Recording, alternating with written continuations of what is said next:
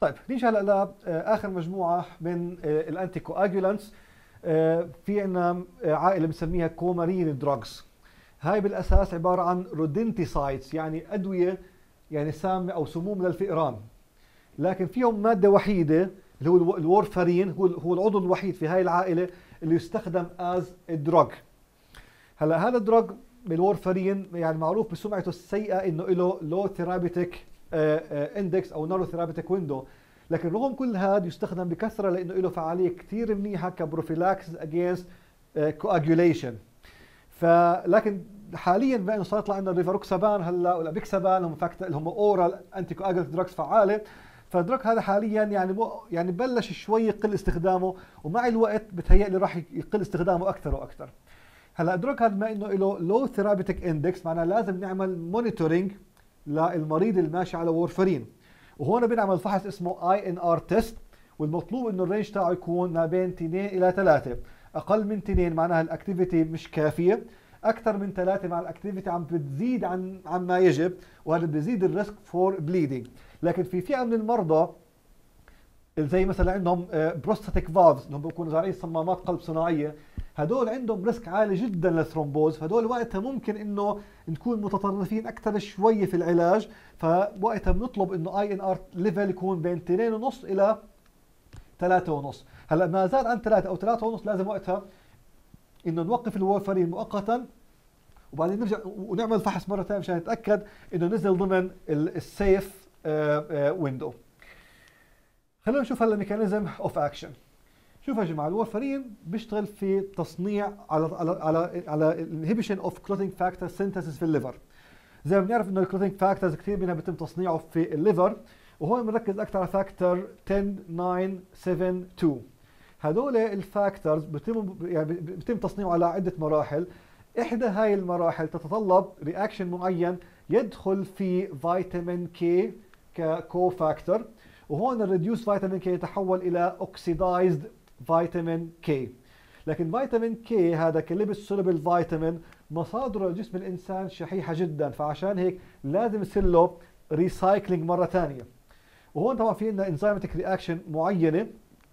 اللي هون وقتها بتدخل ال warfarin. فال warfarin عمليا بيمنع ال recycling ل vitamin K فبالتالي خلال فترة قصيرة من استخدام ال warfarin بصير depletion لل active form of vitamin K وإذا ما في عندنا vitamin K أو نزل مستوى vitamin K فبالتالي بقل تصنيع هدول ال clotting factors وأنا بدي أستخدم كلمة بقل تصنيع. إحنا ما بنعمل أو ما بنعطي warfarin dose بحيث أعمل complete depletion لأنه وقتها اذا ال clotting factors هدول منعت تصنيعهم بشكل كامل فالنتيجة راح تكون قاتلة. راح تكون bleeding قاتل بامتياز. فإحنا معنيين بس نخفف شوي من مخزون ال active form of vitamin K مشان نخفف شوي من ال activation of the أو من تصنيع ال clotting factors فبدي بس أنزلها شوي بدي كميتها في البلازما تنزل شوي صغيرة. كل ما نزلتها أكثر بزيد ال risk of fatal bleeding وهون طبعا السر إنه drug هذا له low therapeutic index الآن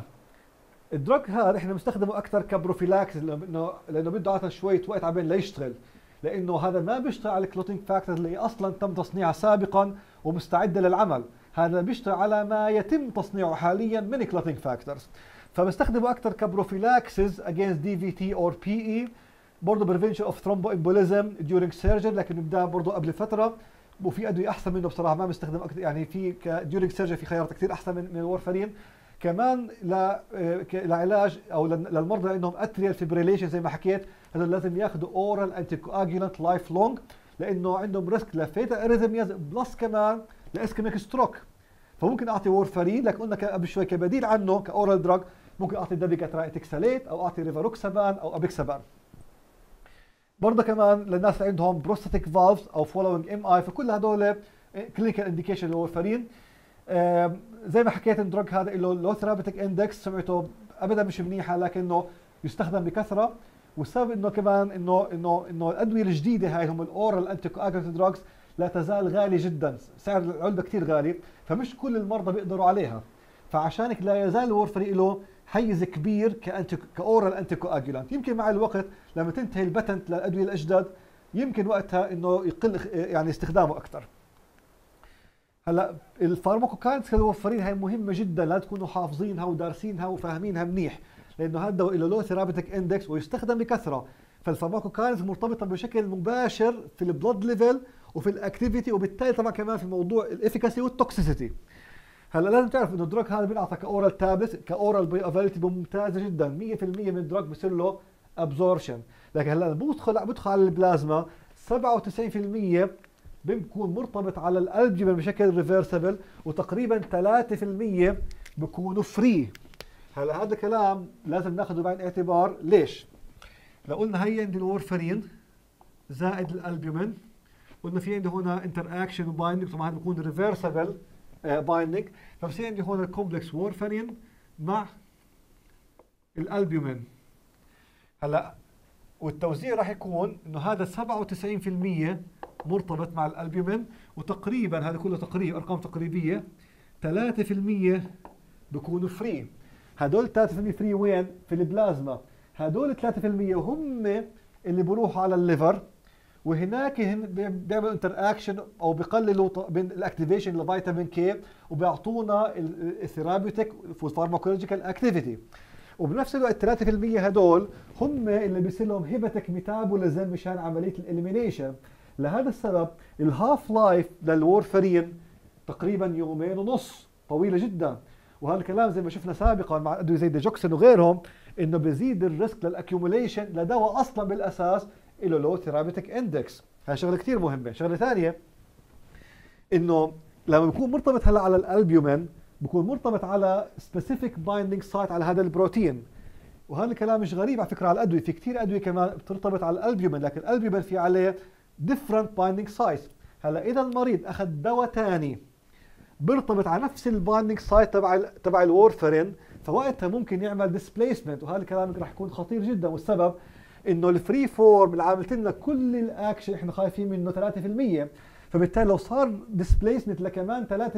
3% فعمليا صار في إنه ضعف ال plasma concentration وهذا طبعا خطير جدا راح يزيد ال risk for bleeding عشان هيك موضوع ال drug-drug interaction كمان مهم كثير وكمان مش بس هيك قلنا هدول 3% بصير لهم hepatic metabolism فلو أعطينا ال drug بيعمل inhibition لل liver enzymes فبالتالي التراكم راح يكون كمان حتى لو شيء بسيط لكنه كافي إنه يوصل ل toxic levels هاي شغلة مهمة جدا انتبهوا عليها. آه شغلة ثانية. أنا برضه نوهت لها في البداية. قلنا ال drug هاد ما بيعمل direct anticoagulant effect هو اللهم فقط إنه بيعمل depletion ل vitamin لل active form of vitamin K وبالتالي بقلل من تصنيع clotting factors فبالتالي clotting factor هي أصلا كائنة مصنعة سابقا لا تزال تحت العمل بامكانها بامكانها تشتغل. فعشان هيك إحنا إحنا بنحصل على activity واضحة لل warfarin بدنا شيء بنسميه إحنا latency period فترة انتظار ما بين إعطاء ال drug وظهور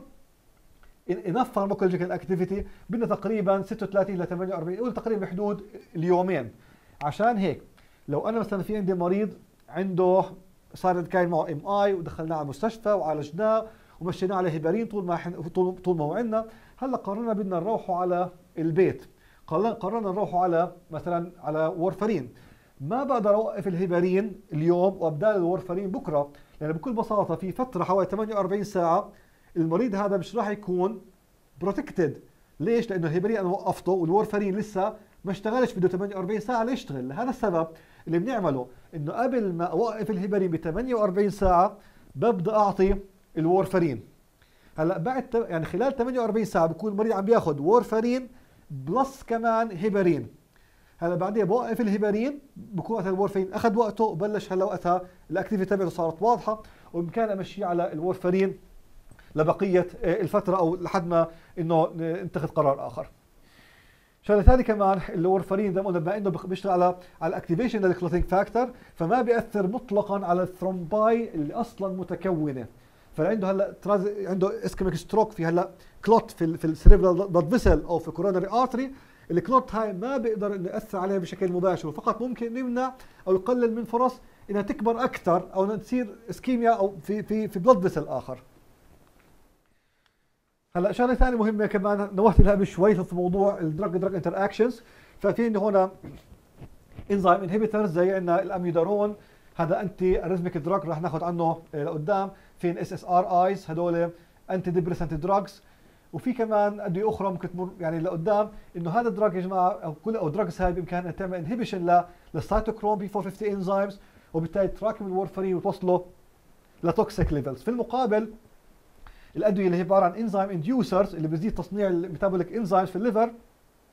فهي ممكن إنها تقلل من ال plasma level of warfarin وبالتالي تقلل من ال anticoagulant activity وبالتالي بتقلل من ال protection للمريض. وهذا بحد ذاته لا شك إنه بزيد ال risk for thrombosis فعلى الجهتين في عندنا خطورة. هلأ هلأ في عندنا الأسبرين نفسه كمان بيعمل interaction مع ال warfarin وهي ال combination شائع جدا أو عادي نعطيها لهذا المريض. والسبب الاسبرين له antiplatelet activity وال warfarin coagulant لكن الاسبرين في شغلة مهمة إنه يا جماعة هذا كمان بيرتبط على الالبيومين زي ما وضحت قبل شوي وبيرتبط على نفس ال binding site تبع ال warfarin يعني بيعمل displacement وزي ما قلت قبل شوي أي displacement لل warfarin ولو بنسبة قليلة كافي إنها تعمل shift ل toxic levels فبالتالي اذا هنا بصير في عندنا إضافة إنه زي ما قلنا الاسبرين هو نفسه له antiplatelet activity يعني الاسبرين كمان ممكن يعمل bleeding فالمريض هلا بياخذ دوايين بيعملوا bleeding في two different mechanisms في كمان drug interaction آخر مع ال antibiotics مع المضادات الحيوية وخصوصا لها broad spectrum بتغطي من خلاله ال gram negative bacteria خصوصا وتحديدا ال E. coli اللي في ال intestine وهون بنعرف إحنا نتذكر شغلة مهمة إنه جزء كبير من فيتامين K اللي إحنا يعني بنحصل عليه إحنا عمليا بناخده من ال normal flora اللي في ال intestine هي E. coli فبالتالي المريض اللي بياخذ antibiotics وبتقضي على هاي ال E. coli معناها بتقلل من تصنيع فيتامين K وال warfarin نفسه كمان هذا هذا برضه له anti vitamin K activity فبالتالي بزيد من ال depletion of vitamin K وهالكلام لا شك إنه بزيد ال risk for bleeding بشكل كثير كبير. فعشان كده المريض اللي بياخذ warfarin مرة ثانية إذا بياخذ antibiotic بحاجة هلا نعمل monitoring أكثر ونغير كمان في جرعات ال warfarin لفترات مؤقتة عبين نخلص من مفعول ال antibiotics ونتجنب قدر الإمكان استخدام ال antibiotics اللي بتأثر على ال E. coli normal flora هلا ال drug هذا قلنا ممكن يعمل bleeding فقلنا بنتبع الحكاية من خلال فحص اسمه INR test له اسم ثاني بسموه مرة PT test شغلة مهمة كثير إنه ال warfarin يا جماعة هذا teratogenic فالست الحامل قلنا بشوي اللي ممكن يكون عندها risk ل DVT أو PE أو ممكن يصير risk ل sudden fetal death فقلنا ممكن نعطيها إحنا مشتقات من ال heparin ك options لكن بقدرش أعطيها warfarin مطلقا لأنه هذا ال drug مرة ثانية teratogenic. هلأ نفرض إنه صار في warfarin toxicity وصار في عندنا anticoagulant activity أكثر ما يجب. وهلا نفرض صار في عندنا bleeding هلا إحنا لازم نقدر حسب قديش مقدار ال bleeding وال risk اللي عندنا بنحدد شيء ال measures اللي راح نتبعها. هلا إذا كنا بنحكي على minor bleeding bleeding بسيط مثلا زي petechiae تحت الجلد مثلا أو ecchymosis ففي الحالة هاي إحنا بكل بساطة بنوقف الدواء مؤقتا وبنعمل replenishment لفيتامين K فبنعطي فيتامين K ك supplement مشان نعوض نقص فيتامين K اللي تسبب في ال warfarin هلا هذا الكلام بياخذ وقت لأنه عبين لما بعطي فيتامين K فيتامين K هلا لسه بيدخل في تصنيع ال clotting factors وعبين يرتفع تركيز ال clotting factor في البلازما مره ثانية المستويات المقبولة فهون بحاجة لوقت عبين لأحصل على anticoagulant effect بس أقول لك مش مشكلة إنه أصلا عنده هون minor bleeding طب واحد ممكن يقول طب ليش من أول ما ندخلش بشكل أقوى من هيك؟ السبب إنه إحنا معنيين انه إنه نخفف شوي من مفعول ال warfarin لكن مش مش قد لا نكون معنيين إنه نلغي المفعول كليا لأنه ما ننساش إنه الشخص هذا عنده risk for thrombosis بأي لحظة. هلا إذا كان في عنده severe bleeding فإحنا هلا بحاجة إنه ل rapid intervention نفرض صار عنده hemorrhagic stroke أو أو GI bleeding أو renal bleeding هون فيش مجال إنه نستنى كثير فهون غير إنه بنوقف ال drug طبعا الشيء الأكيد إنه بنعطي هلا high dose of parenteral vitamin K مشان نعمل replenishment سريعة. لكن الحكي هذا بده وقت قلنا عبين يعطي اكشن فبالتالي بدنا نحاول فورا نعوض ال clotting factors الناقصة. فهون ممكن نعمل هلا infusion of whole blood ومنه هون بنعوض الدم اللي فقدناه في ال bleeding ومنه كمان ال blood اللي إحنا أعطيناه اللي عملناه اللي عملناه transfusion يحتوي على ال clotting factors جاهزة. أو ممكن أعطي frozen plasma اللي تحتوي على ال clotting factors أو plasma concentrate تحتوي على ال clotting factor إذا هون عمالي بعوض ال clotting factors مباشرة مشان أستعيد ال blood coagulability واوقف هذا السيريس بليدنج